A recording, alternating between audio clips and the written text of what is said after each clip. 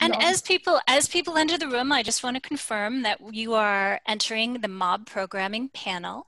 Welcome. We'll get started right right a, uh, as soon as everyone completes entering. So I am going to give it about 30 seconds more and then we're going to kick things off. My name's Carolyn and I am moderating this panel today together with Cindy. And our speakers for this panel today are Nancy and Caitlin. I'm going to let them introduce themselves. So we are arriving at this panel because my passion for mob programming began. I'm in startup sales and I'm moderating this panel on mob programming specifically because I'm so passionate about how it pairs quality with empowerment and innovation, which is what WITI's all about, right? So mob programming, we understand, is a term that some of you probably have never heard, or some of you have. This panel was designed to answer a few basic questions, and I'm just going to state them out loud now as people continue to enter the room. We're going to help you answer the following. What does mob programming mean for the business person? How can knowledge of this way of working help you with your growth? How can it empower you and your team? And how can you get started? We have left time for some questions. I should be monitoring the chat, but if you have a chat question, Cindy's my backup. Cindy G is my backup for this session. Nancy and Caitlin, as I stated earlier, are going to give their own introductions. This way of work does translate beyond the technical. So the reason that Nancy and Caitlin are speaking together is to speak to that. Nancy's background's more technical, Caitlin's also technical, and a bunch of her experiences on the business side. So let's just do a quick poll before we begin. And I just need to check my options. I don't think that I can, for some reason I'm having difficulty seeing people. Let me just ask the question. And Cindy, we may need to have you help with the answers. The question is, could everyone in this session right now identify as either a technical or non-technical person? Are you a technical or non-technical person? That would help our speakers.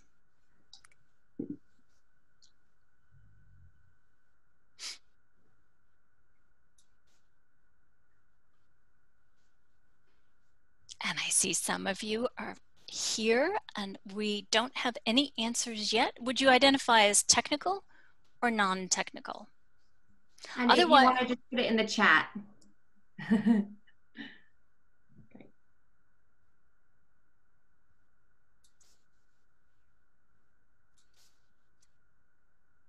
So we have someone who is non-technical with a technical background. So a non-technical manager with a technical background. Yeah, I, that's funny, Sophia. That's funny. And Julie, Julie's non-technical. So she's saying she's non-technical.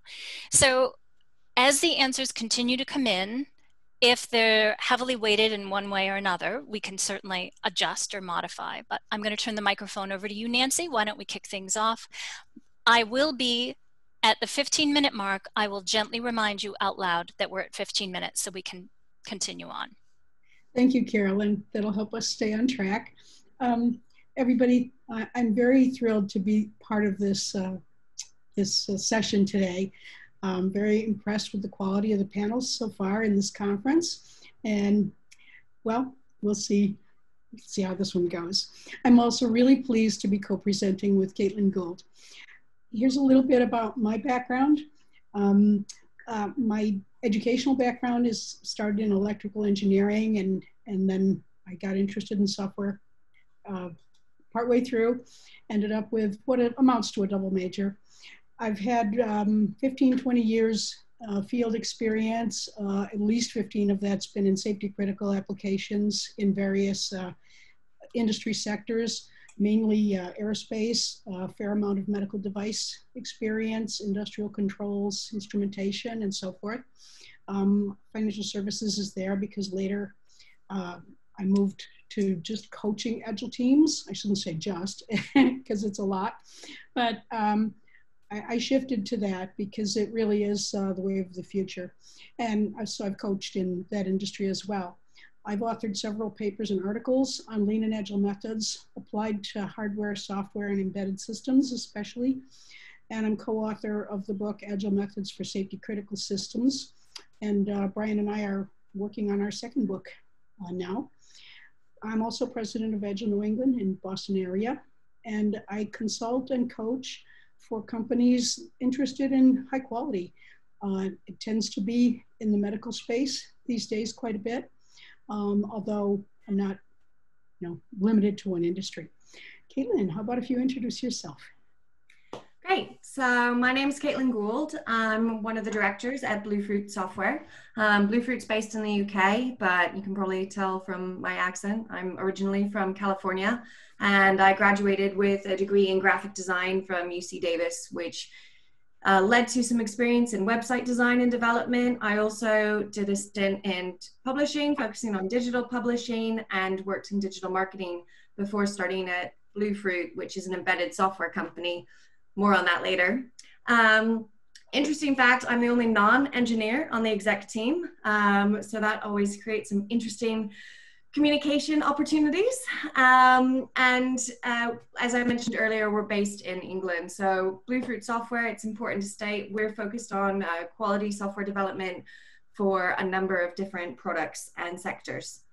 So um, also important for the topic today and something that else that Nancy and I have in common, in addition to mob programming, we're also lean agile practitioners. And it's something that we use um, our lean agile processes to be constantly thinking about how we can improve ways that we deliver for our clients um, and how to help them see better results. Thank you. Um, we're going to cover uh, basically three topics.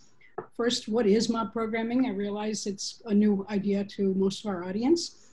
Uh, I'll talk about why it's better and safer.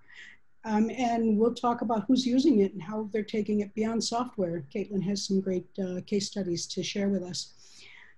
Well, first of all, what is it? Um, you may have heard of agile software um, methodologies or practices. Uh, that's really become the mainstream now over the last uh, 10 or so years in software development. Uh, you may have heard terms like Scrum or SAFe or extreme programming or some of these kinds of terms. And if you haven't, don't worry about it. You're, you're still okay for this session. But the point is, they all have practices. And there's a number of different practices people may use, like stand up meetings daily, uh, short cycles where they deliver something, things like that. Mob programming is a practice. Every team doesn't have to do it. They can still be agile, even if they don't do it. If they do it, I think most will be pleased, but it's not necessarily for everybody. So let me just say that at the start here. I'm not one of these people that, um, you know, one thing solves everything. So what is it? It's a software development approach. Basically, the whole team, and we're talking about small teams, five, six people max, the whole team works on the same thing at the same time in the same space and at the same computer. And it's okay if you do this remotely because uh, teams have been using it remotely for years and years now, not just because of the COVID restrictions. So let's, uh, let's have a look at what it looks like. It started in 2011 in San Diego. And I want to tell you a little bit about how it got started because that will help you understand some important things about it. Um, at, a, at, a, company called Hunter, Hunter Industries in San Diego, um, they, you know, like many companies, they, they felt a need to turn things around in how software development was happening. Um, Woody Zuill is a person who had some experience as an agile coach, and he, he was brought in to be manager for a software team there. Uh, the company makes um, sprinkler systems and irrigation systems for landscape uh, purposes. So it's not in safety critical, but it is uh, embedded systems work. Um, so anyway, Woody Zuill is most well known in the world in connection with mob programming because more recently he's become independent and he's been teaching and speaking about it uh, in many places. I also want to mention Llewellyn Falco in connection with this because he's a coach I know, and that's how come I became aware of what this team was doing, I don't know, within a year or so of them starting to, to use these practices. And it got started because, so here they are sitting, they're all looking at a screen, they're all around their table. There's Woody over at the right, and uh, they're conversing and working together on their software. You may see a, more than five people there. One of them is their product owner who's working with them. Here's what it looks like from the other side, okay? So how did they get going on working this way? Well, um, Woody understood the importance of having the team be in control of their process. And he got, he, the company agreed with him as, you know, part of how he'd work when he came there. So he wanted to give the team some latitude over how they worked. And he started off by inviting them to create learning sessions every day. They were curious to learn some of the agile techniques like test driven development and continuous integration. These are methods that help you test as you go.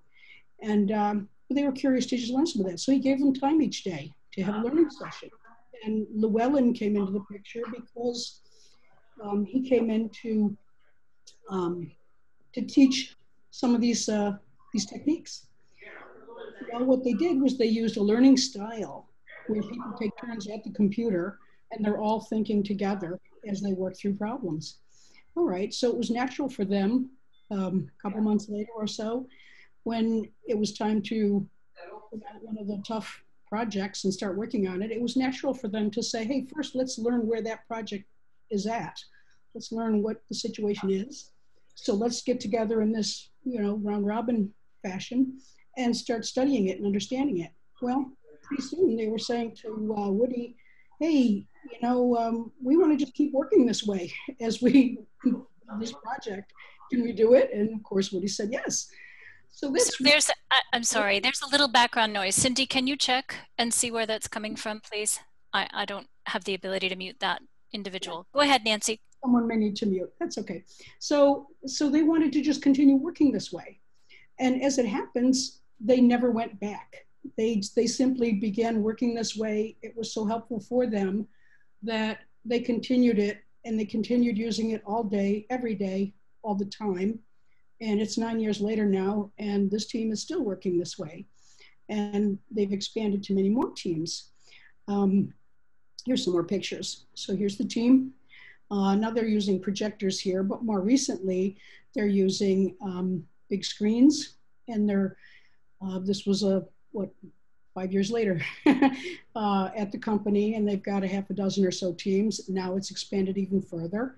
And you see that they're in small groups with large monitors and they converse while they're going.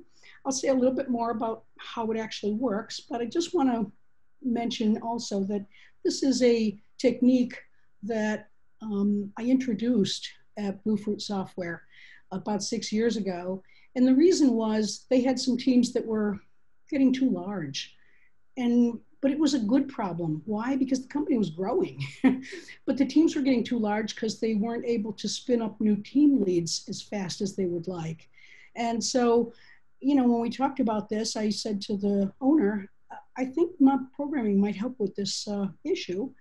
And, you know, if, uh, I could spend a little time with each team and explain it to them and help them get going, um, they might want to do it. So you know, as time went forward, it did. It did address that problem nicely. Um, so let, let's see, I want to move on and tell you a little bit more about that before we get ahead of ourselves.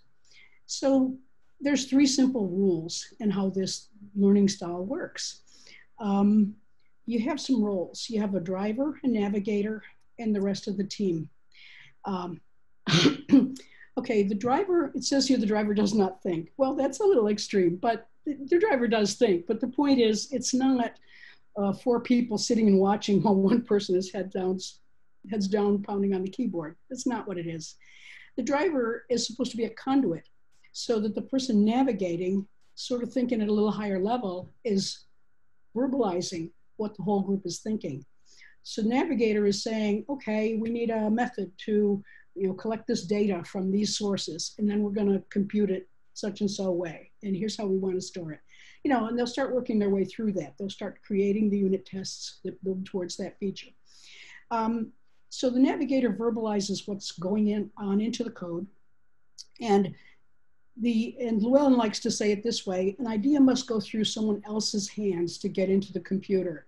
Because the point here is to put the thinking out, out loud in the air so that everybody can be engaged and really thinking together and focusing. And we take turns. They rotate turns so that each person gets a chance to navigate and to drive. And people will have varying skill levels, but that's okay. The group kind of helps them out. And um, so that's just a quickie little description of how it works. There's lots more that can be said about that, but that's its own whole training course. Okay, so let's let's continue a little further. Productivity. Um, people ask this question all the time. I asked when I first met Woody. I said, "How is it going? How you know what uh, what sort of a business result are you ending up with?" Um, and he says, "Well, you know, people ask that all the time. Five people at one computer. How can that be as productive as a whole team? Or I mean, five people working individually. How can that be? You know, uh, how can how can putting them all together be better or even as good as everybody working in parallel?" Well, what the team did was they asked themselves this question too, a few months uh, after they began working this way full time. But they already had features written on cards that they had implemented before they started using mob programming continuously. And they had a little set of cards from, uh, I think it was a two week period, but I could be wrong. They had a little set of cards from a period of time. And they said, well, let's check. Here's the cards we had, you know, for the couple weeks back, two months ago let's look at how many cards we finished in the most recent two weeks and think of a card as a software feature. So when they looked at it, it was definitely a bigger pile. So they knew they, it wasn't just a perception. They were definitely getting more done. Now people ask why. Um, it's important to understand that you know, programming is not stenography. It's not a contest for who can type the fastest or, or the most or generate the most lines of code. Not that at all uh, you're making quite a number of design decisions as you code something up. There really isn't that clean separation between design it and build it like I was taught back in school. I mean, that was a hoped for distinction, but it's not, it's not real. Um, and so there's that. There's also the fact that the team is balancing the needs of the stakeholders as they understand it against what they know about the technical constraints. Okay, so there's a lot going on, is all I'm trying to say. There's a lot more going on than just typing. so when we ask about productivity, we have to think about that. Um, before I move on, there's one caution I'd like to mention. Um, managers often, you know, when they when they are convinced that it is more productive, a lot of times they're tempted to mandate it. And I just want to say, if you're, you know, in a position where you uh, lead a software team or you manage them, uh, you should resist that impulse. Uh, I believe that a large part of why it worked out as well as it did for Bluefruit, for Bluefruit software, is that um, I said to the owner, you know, can we, can I introduce this to them in such a way that I say to them, it's entirely up to them whether or not they want to use this technique going forward. And can I say to them, it's okay with you either way, whatever they choose. And, uh, and he was totally in favor because that's his philosophy too. He's a big believer in empowerment for the teams. So we did it on that basis. You know, I gave them a short training session and we tried it for an hour or so with each team. And, uh, you know, it was enough to give them some hands on. And we can say some more about that a little bit later. But let me move on. Let's talk about why it's better and why it's safer. Uh, how am I doing time wise, Carolyn? So you have been speaking for about 12, 13 minutes. Beautiful, we're on track. Okay, so why is it better and safer? well, when you're coding solo, your best and your worst makes it into the code base. Um, now, in theory, the problems get caught early because you're testing, right? But I've been on lots of teams who weren't testing very thoroughly or very early or very often. So when you're coding solo, your best and your worst tends to get into the code and stay there maybe quite a long time. When you're pair programming, that's another one of those practices I mentioned, by the way. Not everybody uses it, but it's a good practice. Many Agile teams use it. It's just two people working together. When people pair program, the best of both of them makes it into the code. So the result is a bit better. In other words, you're avoiding more problems before they even start. Um, when you're using mob programming, it's the same dynamic, only now it's team wide. So the, uh, the bar is even higher in a way, but without extra effort and without anybody having to become, you know, superpowered in their level of knowledge and all that. So every person has strong and weak areas. We're not going to change that, but everybody can learn continuously and incrementally. And that's what is really superior about mob programming. Um, the team at Hunter, uh, in, in a period of four years, they, uh, they had only two defects make it into production. I'd like to put that into context for you briefly. Um, the context of it is in a traditional software team that's not using the agile methods I'm talking about here, in a traditional team, it's common to have hundreds, even thousands of open defects um, being tracked.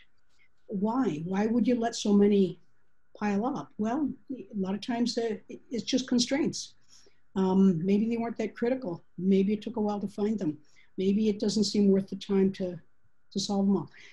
This is something that the industry has accepted, in my opinion, way too long as inevitable. My own early Agile team working a, a complex, difficult embedded systems project uh, that went three years. In the whole three year time, we generally had zero open defects. There were periods where we had one and maybe two. We never had more than that. And, and this was a tricky project. Um, we are going to have gentle a, gentle reminder. You are at 15 minutes. Okay. We are going to have a little takeaway sheet that's got some resources for those who want to follow up some more on these statistics here and some more about that kind of background because it's a whole talk by itself.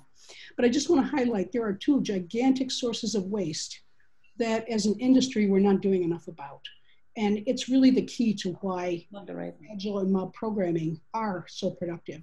These two sources of waste are time spent debugging software, and time spent on handovers of work. Uh, when I start working with a team, I usually like to ask them, how much your time now is going to debugging software? A lot of times they'll tell me a half of their time, some might say a third of their time. Um, I rarely get answers outside that range. That's a huge amount. I mean, you can just about double your productivity if you can eliminate that right there.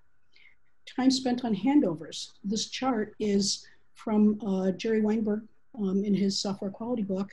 And he talks about the amount of lost um, time, uh, lost capacity that people have when they're spread over two or more projects.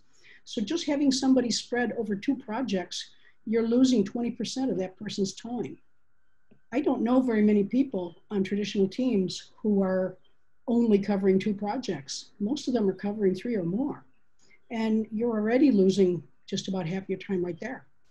Um, so this is really this is really something to be thought about uh, carefully. And but I'm going to move on because we're talking about mob programming now. But it helps you deal with this because a mob programming team is focused on one project and that's it, and they work on it till it's done.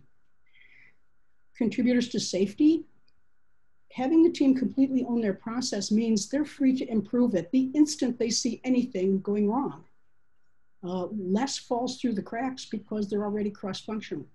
But if anything does fall through the cracks, they check it right away and update their process. Their on-site customer is there to guide the product vision, so there's less room for misunderstandings. One of the people in the early photo there was the product owner. Um, so the daily retrospectives and daily pushes to production also help keep everything clean. And you couldn't, you wouldn't dare push to production daily unless you had high confidence in your software. But that's why the whole test first approach or test driven development practice exists. That's also its own topic that we're not going to cover here. Um, this uh, is the last slide in this section, but I just want to mention one of the things that really triggered me when I heard uh, Woody Zuill present about his team and, and the experience they had as they began using this practice, Woody listed a whole set of things that he said melted away. There were problems that they never had to do battle with. They never had to go out and tackle these problems because they just melted. Communication problems. Why would you have that if the team's together all the time? Decision making problems. Well, if everybody is focused on the same information and they're all hearing it together, it's just a lot less uh, reason to have difficulty in making decisions. Uh, problems about scheduling, queuing, estimating, you're just working one problem at a time. So no need for those fights either. They disappeared. In my own early Agile team in the late 1990s, we were not using mob programming, but we were using um, some of the same principles that it amps up. we were using a lot of strong communication among the team members and a lot of rapid feedback. What we saw melt away, see, this was what it was. It, it triggered me when he said these problems melted away. And I said, yes, that's what happened with us too. Long debugging due to flaky hardware. It just started to disappear. Long debugging due to third party things that we couldn't control because we had a way of testing our software and our hardware independently from each other. We came up with that as part of our agile work. Individual ownership of code. Um, we didn't have to go and battle against it. It just didn't make sense anymore because of the way we were working as a team. So it, it drifted away. Um, we're going to talk next about who's using it beyond software. But before I jump ahead, um, Carolyn, is there a question or clarification that you think I might address now? No, there's nothing, no outstanding questions. Let's turn the mic. This, Caitlin, you have the stage. Not, quite yet. One slide, one slide, and then she does. I just want to say something about mob programming has, you know, escaped into the wild.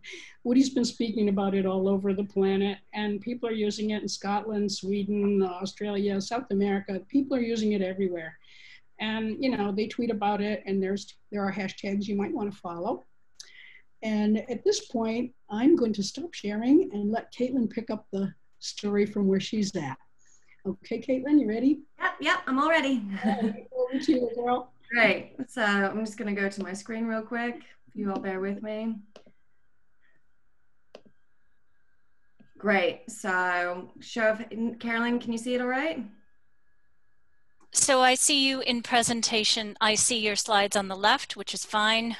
And I see your presentation. Perfect. So, yeah. Great. Um, I think what Nancy's trying to tell you that she sees the row of slides on the left and she's wondering if that's the way you want to present. It's entirely up to you.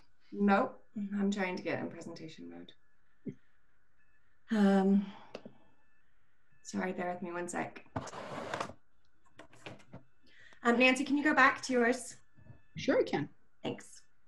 Um, so keeping it real. This is what Agile yeah. and mob programming so, is all about. Yeah, well, Nancy's loading it up. I can talk. Um, so I'm not from a software background, as I mentioned, and I don't um, head up a software team. Um, I work at Bluefruit Software. Um, we are similar to Nancy. We're in the sense of being in the embedded space, we should probably say not just embedded engineers use mob programming, um, but it was something we had in common. It's one of the reasons we brought Nancy in to do coaching is we knew she would understand our workplace. Um, embedded software isn't really a term many people talk about. Just quickly in terms of why quality matters to us, um, there's, as you guys all know, there's billions of computers around the world imagine kind of 10 times that amount and that's the amount of computers in the things around the world that people interact with every day. And that's the software that we're working on. Um, the reason it's quality critical is oftentimes we're coping with things like the controls connectivity. So whether or not a motor turns or um, the dosing of a system on a medical device it could also be around that power management um, it could also deal with security. So it's really important that we've got a strong grasp on secure, um, sorry, on quality for all of it. Um, this is what an embedded, if you're still confused about what I'm saying, what we're working on, we go really low. We're right down here. Um, we're not coding for computers, we're coding on the circuit board. So cool. Um, so Bluefruit Software, um, as Nancy mentioned, we've grown a lot. So I'm here mainly talking about the business impacts that we've had. Um, so we've not only grown since Nancy talked to us, we've actually doubled in size consecutively for two years in a row, and that can be extremely painful growth. Um, we've also increased across multiple teams. So that's not just more software engineers, that's more test engineers, even grown our HR team, we've grown our marketing and sales team, and we've uh, added in additional compliance people. Um, so that means we've got a lot of new people coming into the group that have to have different forms of communication and have different experiences. Um, we also have people across the company. We've been going for 20 years, so we have knowledge spread really far across the company from the different hundreds of projects we've worked on. Um, one of the things as well from that previous picture, when I'm showing all the different bits that embedded software is in, we are, I should say, we're an outsourced embedded software team, which means we work with different product owners and different products and different teams on every single one of our projects. So on any given project, we might overlap with a hardware and electronics team, a compliance team, product team, software teams, occasionally marketing gets involved. Um, so again, there's lots of different paths of communication, but all of them are relying on the software that we create to make their product work. So that's where we get a huge amount of pressure on that quality and why we've got to make sure that what we put out works really well. Um, in terms of our culture, you know, Nancy mentioned we invited her to come in to talk. We do have a strong culture of learning and constant improvement and empowerment. Um, I think sometimes when we describe our culture to other people and we say how much we collaborate and work together, it makes it sound like some kind of nice kind of software nirvana place, but it actually makes a huge amount of sense business wise. So, alongside all of that growth, we've also seen improvements in turnover. We've seen improvements in um, our client relationships. We've seen clients go from working with us on a few projects to working with us for years. And that's because of the reliability that we're able to provide. And a lot of that is around the processes we use, and especially one of them being mob programming. Shall I move on? Yes, please. Going. Um, so Nancy talked a little bit about why tech teams mob our team, I mentioned quality is really, really critical. Um, I think Nancy covered that really well. Um, also, improved client communication. So, all of those different people we need to talk to. Um, oftentimes, the solution for communication, when you hear that communication solves all problems, people tend to think that that means just more communication, more meetings, more emails, more phone calls. Um, what we try to think about is more effective communication we are we talking about the right things? Are we on the same page? It's really easy to misunderstand software requirements. It's really easy to misunderstand just conversations between team members. So that's so so stay on this a minute because that was one question that came up in the chat caitlin. So just yeah. focus on these communication issues. One person has cross-functional teams working on a single project. Just keep that in the back of your head and yeah, keep going. perfect. so um, yeah it's it's helped as i say and it's helped about the client communication. Um, i think one of the things as well is that um, it in the space that we're working on in some of those products that i showed you know we do a lot of stuff at the moment in medical devices. Um, we're also working in ai and thinking about applying ai to remote devices which has a whole heap of issues. Um, and so a lot of these spaces are really cutting edge. They're complex problems um, and they're cross-functional problems too, trying to do AI in a medical device and meet compliance regulations. You've got four different teams all trying to weigh in on what's the most important thing to pay attention to. So it's really important to think about how we can explore and try to solve those challenging problems and trying to get ideas from as many people around the room as possible. And that's where that shared knowledge comes in as well. What you don't want to do when you're solving a complex problem is having to have 10 different conversations with people in different rooms where they're not learning from each other and you're turning into some kind of translator. Um, it's nice to get everyone together so you can build up that shared knowledge and then you're able to spread it. Um, and we've seen, as Nancy said, about we get it from our clients too, about five people all working on one piece of code together, that doesn't seem effective or efficient. Um, but if those five people get it done in half the time, um, if they get it done in a quarter of the time, and then it's better, then it is more efficient. And I've got some examples on how we've actually done that on the business side of things too, not just when writing coding. Um, the last point that I think is really important to make is it's a great tool for bringing up new team members. Uh, again, Nancy mentioned we brought this in when we were thinking about splitting out and we needed new team leads. But we also have a challenge that most tech companies have around the world around recruitment. It's very hard to find talented software engineers. It's even harder to find embedded software engineers. It's not a very sexy language. Not very many people study C programming anymore. Um, so what we found is that we often need to bring in junior people who have potential and train them up. And that used to take us somewhere between a year or longer before they're actually able to contribute productively and valuably to a client project. Through mobbing and by having them learn from more experienced programmers on the team, they've been able to increase their knowledge and rapidly get on board. So we've been able to take that down from a year down to six months, sometimes down to six weeks, depending on how skilled they are in terms of that cross learning as well, um, as we've been moving more and more into the medical space, we've also been bringing compliance experts into the mobbing and they've been upskilling the team on compliance knowledge. So that's another example of how it's not always just about one person, but sometimes it's about that shared knowledge. um, this is what our mobbing looks like in action. We don't actually have those big open office spaces for our mobbing. We do for our, our teams, but what we decided to do was to set up um, dedicated rooms. Um, I just wanted to share this because I think it's worth saying that any meeting room can become a mobbing room. Um, all you need is a nice big shared screen. Um, when we get back to the office in this COVID environment, you can also limit the amount of people in the room. so um, that's also quite good. Um, in this situation, you've got Jordan, she's hidden there behind the plant. She's the driver. The other three people, we've got two software engineers and a test engineer. They're contributing. Notice they're not actually typing in any of the code. Jordan's writing that all in. They're just watching and, and trying to edit as they go.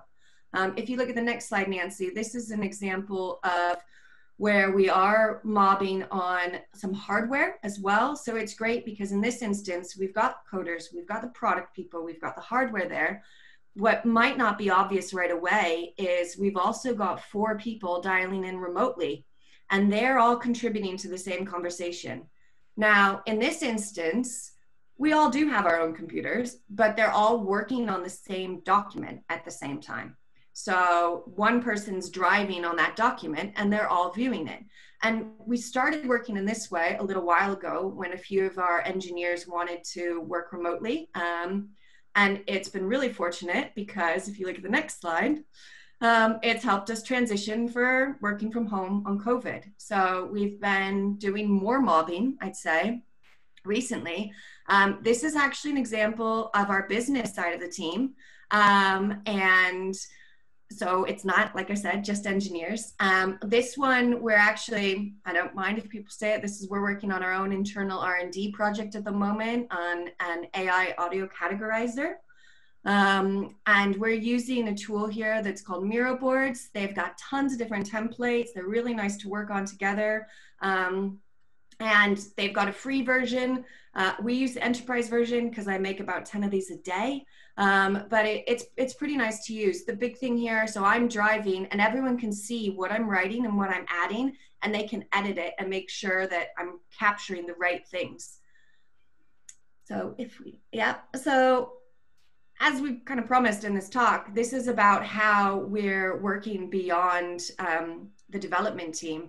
So as Nancy said, this isn't a top-down command. Um, what we saw was that we we saw effectiveness basically on the development team. They were getting stuff out and they were shipping it very quickly. And we wanted to try to see if there's something we could do on our team. Um, again, we work a lot of our work on sales, marketing, business development, and HR requires input from the development team. Um, traditional way of doing it is we would work on something, then we'd maybe pass it to the development team, ask them for advice, we'd input their suggestions We'd then write some more, they would edit it, this back and forth and back and forth. By mobbing, we can bring everyone together. Um, and so it's really something that we've seen as a proactive way to get stuff done. Um, it's also helped with coaching. So it's helped my team to increase our technical skills by bringing those technical people in. Um, and as you know, you mentioned earlier, it can really break down some of those internal silos as well. It helps getting these different teams with different backgrounds. Sometimes they have preconceived notions of each other, but if they're working together productively to solve a problem, it, it generates a bit of respect across the different teams. They can see each other at their best. Um, this is actually an example of our HR team, well, us. So we've got marketing, HR, and the developers all together. And what we're mobbing on here is writing a job description for our software engineers. I mentioned it's hard to find them. It's really important we have a job de- description that attracts them. Um, gentle, sorry. gentle, gentle reminder. We have 15 minutes left in our session today. Great. So um, if you go to the next slide, I'll keep talking about this picture. But um, and I think if you see that photo, it's really easy to just assume this is brainstorming, right? It's just a fancy word for brainstorming, but it's not. And the big difference is in a brainstorming session, we might all be sitting down and writing up notes and thoughts on what a good job advert is in this session, what we did is we all sat down and we wrote the job advert together. And we, at the end of the session, when we left that meeting, we had a ready to post on the website job advert. The marketing team knew exactly how to promote it and what um, tone to take. Um, the developers were all happy and didn't complain about it later. Um, and HR had a job advert written and signed off by all the departments in a few hours instead of something that would sometimes take weeks. So that's the real big difference between brainstorming and mobbing is brainstorming is great and it's all about idea generating but mobbing is about output generating you want to create something in a mobbing session um, critical to being able to do that especially if you're trying to think about um, a particular outcome is pay attention to who you've invited to the mob and make sure you've got all the people you need there to help you solve the problem um, also, make sure you've got a problem to solve. it helps, it's really important to be focused in your session. So here's a business um, example of how we've done it. Um, this was something we did around a client complaint. Um, we had an issue where, as happens regularly on software projects, um, scope creep. Uh, they said they they hoped something. Uh, they gave us a list of requirements and they hoped it would take a certain amount of time but as naturally happens, um, they wanted more things, more features, more addition um, onto the project. And so it was starting to get longer and a bigger budget than they expected. What normally happens in this situation and what happened here is usually the head of product or one of the senior executives will get in touch with me and will say, What are you spending all my money on? And why is it going up? And why is the budget increasing? I then have to go away and talk to the development team, find out what's going on and we have this, this series of meetings and investigations and over a few weeks we'll come to a solution and maybe some suggestions um, and that whole time everyone is stressed and it's painful um, what we did instead was we listened to the problems and then we set up a meeting and we worked through the problem together. We listened to the customer and what they were having issues with. We talked about the problem of us coping with a lot of new requirements and we came up with a plan. We came up with a simple solution of how we would prioritize our actions. Um, the owner of the company felt like he was back in control of his project and his budget I felt like my team knew what they were doing and I was confident everyone was happy. And the best outcome was that myself and the owner of the company didn't talk again until the product was released and they were thrilled. Um, so, as Nancy said and Woody said, it was a great way for erasing a lot of these problems. This was only partway through the project as well. So, it's not like this was at the end, this was at the beginning. So, it saved a number of additional meetings going forward.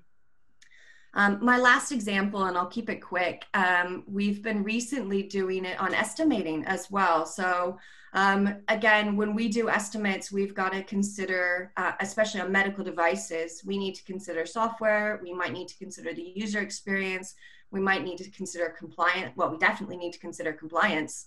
Um, so when we're doing all of that, it doesn't make sense to have to go out to each one of those individual people and have them contribute to an estimate separately. Um, so what we've started doing, and we've only really recently started doing this, is actually mobbing on writing the proposal together. So we'll have everyone sit in the room. We've all got the brief notes ahead of time, and I'll drive and I'll start writing up the proposal, and people contribute their bits as we go. And what's happened with that is not only do we get it written faster, but we're learning from each other. We're working together better. We're discussing how we'd approach the project. So, in some ways, we're not just writing the proposal, but we're getting ready to work with that client. We're thinking proactively, and we're all on the same page. And what that's meant for me as the head of that team is I've seen the amount of time it takes, sometimes two to three weeks, to put together a proposal with back and forth, go down to two hours um, and that is a massive difference in terms of how many proposals we can get out, the speed we can get them out, and the speed we can hopefully get that client on board with us on. The quality is much better too, because we've had all of those people checking their different parts and making sure that we're all on the same page. So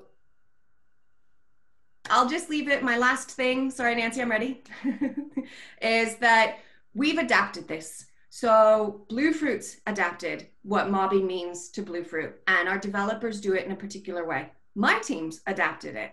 We don't call each other drivers, and we don't use some of the terminology that some of our software teams would say is critical for mob programming, but it's fine. What we've done is we've taken the principles, we've taken the learning, we've taken a lot of the stuff Nancy's talked about, the benefits, and we've made it work for us. We've made it be something that we can use. And that's something i'd suggest as well is play around with it. Don't try to rewrite your culture around mobbing but think about how it could fit into the way that your team works. Thank you. That was that was wonderful. So we're going to open it up with about 10 minutes remaining we do want to make sure that there are some time for questions nancy do you have one or two things to mention just Super want to offer a few ways for people to get started there's some books that we could recommend. Um, okay, so let, go ahead. Does it here. You can. There's a hashtag you can follow to find out lots more. Um, I'll just move on quickly here. Here are some books we recommend. Um, the two at the left are specific about mob programming, and the two at the right, one is uh, mine and Brian's, and the other is uh, by Amy Edmondson. It's an excellent book. And why don't we take questions now? Oh, I don't want to forget to mention this is on tomorrow and it's uh, no cost. so, yeah. This, I'll put the link into the chat now. I think it does, right now, I don't see any questions in the chat yet. But let me say that empowerment, can, can one of you say something about how this empowers members? Yes, Caitlin, who would normally have quieter voices. Yeah, I think it's this is really interesting. So we talked about this a little bit when we were prepping for this and knowing the event that we were going to and being aware that some of the challenges speaking about women in tech as well as sometimes you can suffer from imposter syndrome that might not just because you're be because you're a woman. Some people on my team suffer it because we're not technical. So when we're sat on technical meetings and we don't come from a technical background sometimes it can be hard to speak up. But what's nice about mobbing is everyone is encouraged to contribute ideas and conversations. And so it's a really nice time for people, whether they're junior or they come from different backgrounds or they have different experience, to be able to contribute to that problem solving. And what we found is actually when we do more mobbing, it builds people's confidence because they start to see how they can contribute to the conversation. So it is a nice way to encourage that. Um, one thing I would suggest is that if you're going to try doing it and you yourself or you have team members that are, are a bit shy, make sure that you give them the encouragement to know they can participate. Um, sometimes ways that we'll work around it is if people don't like speaking or are a bit nervous, they might be able to contribute via comments like we've done in the chat today. Yeah, I'd like to add something too, if I could, on that topic. And here's our contact information. I find someone asked me, uh, um, you know, what's what's best about mob programming. To me, I think it really helps women to be um, perceived better when they're part of a team. Um, you can't work closely with a whole team of people without them seeing, you know, where the good ideas are coming from and, you know, who's contributing. Not that it's competitive because it's not, it's very supportive in a team that works well. And it's almost like you can't do this, you can't behave this way and not develop some respect and understanding for each other. So I think it's really great for women to help women develop the confidence and the, um, I don't know, just everything else that you need in order to progress a little further and, and grow your own skills, capabilities. Uh, I think one of the things I really like about mob programming is it fights against the tendency that we have to say, oh, well, there's the technical engineering practices, and over here are the people practices. You know, it helps helps you to not separate them. Yeah, I think you make a good point, Nancy. One of the th- reasons why our junior people like it as well is it takes away the blame culture a bit. So when you're contributing and making something as a team, the team produced that. So it's not one person's problem, it's not one person's fault. And because you've taken away that blame culture, it means people are a little bit bolder to put out ideas. They're more willing to also put out critique um, and to make sure that what the team produces is good. Um, and usually that that is also why you get a higher quality thing. It's because everybody's working together to make a good thing. Um, but it also means if something doesn't go to plan, you've got a whole bunch of people to lean on with each other. So, you know, you can learn together on it, but it does, it takes away a little bit of that fear for junior people. Yeah, I find that with solo programming, you know, it's so easy for, say, two different people or two subgroups to go down different paths. And then they discover it's not coming together, it's not going to integrate.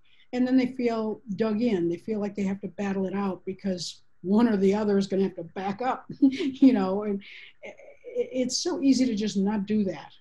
Well, I won't say it's easy. I mean, it takes some effort to understand and master the, the different way of working. But once you do, it's, I don't know, it just makes so much sense. Mm. So, are there other questions that we can answer? So, I don't see any other questions in the chat. So, let me just give people a minute. I know we're about to be pulled into our next sessions, wherever they are. Um, so I think I do want to just restate, we're going to make sure that WITI has this deck. We're going to make sure that WITI has the takeaway resources, some of which I've listed, been listing in the chat. And certainly if anyone has questions or this has sparked interest, Caitlin and Nancy and I would love to follow up with you. And the best way to reach each of us is probably LinkedIn or the contact information you see in front of you. It has been a pleasure being part of this WITI panel. Thank you very much. Have a great conference. Thank you. Yeah, and I just to say with what Carolyn said as well, um, if anybody wants to ask any questions, whether it's about mob programming or any of the embedded questions, I probably can't tell you how your electric bike works, but I'd be happy to connect you with a bunch of people who can. Um, and yeah, feel free to send questions my way. Thank you, everyone. Thank you. Great session. Thank you, Cindy. Bye. Bye. Thanks.